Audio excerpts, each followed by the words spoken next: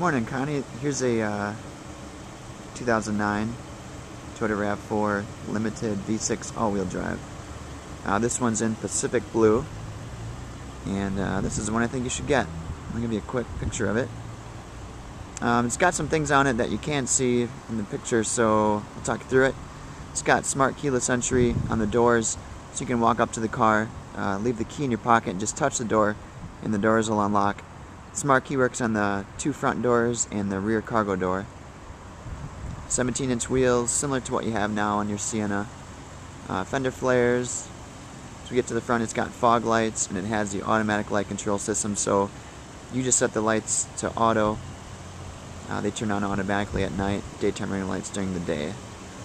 On the inside of him, he's got GPS nav, uh, leather seats, heated seats, power moonroof, it's got a backup camera via an auto dimming mirror. So you've got a obviously a mirror hanging from the windshield. And that mirror gives you a backup camera and it auto dims. The stereo is similar to what you have now, but it's on a 6 disc changer. It's a single CD player in the dashboard. Uh, but it does have iPod integration, so if you've got an MP3 player, you can plug it in.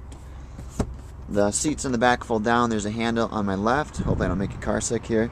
So you reach the handle, pull, and the seats flop down. No, you said you need a DVD player. Uh, I can install one of those if you want to stay with it. There'll be an option for it in your email. I'll run up front real quick and show you a couple more things.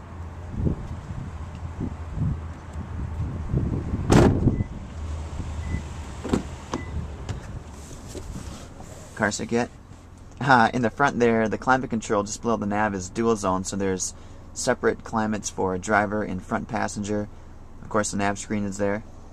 Um, on the left side, steering wheel audio controls. Uh, so for the radio, volume, station presets, turn it on and off. And then there's a button on the right side, the display button, and that will change uh, the trip computer, fuel economy information, outside temperature gauge, etc. Heated seats. Those guys there, just to the left of the shifter.